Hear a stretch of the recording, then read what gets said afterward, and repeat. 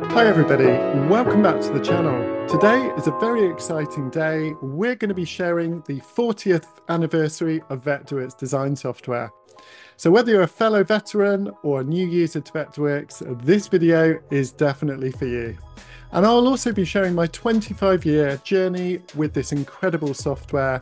Vectorworks started back in 1985, 40 years ago, and back then it was known as Minicad created by Diehl Graphsoft. Today, Vectorworks is one of the most powerful and widely used CAD and BIM softwares out there on the market. It's used by architects, landscape designers, entertainment designers, and many other people designing creative industries.